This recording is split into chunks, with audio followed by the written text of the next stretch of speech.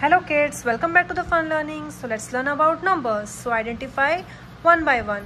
So the first number is number number 7. S E V N 7. So we'll put it over here. The next number is identify the number. It's 6. S I X 6. So we'll put it over here. The next number is number 0 Z E R O 0. Can you identify the number? It's 2. T W O 2. So the next number is number number 8. What's the spelling of 8? E I G H T 8. So the next number is number 4.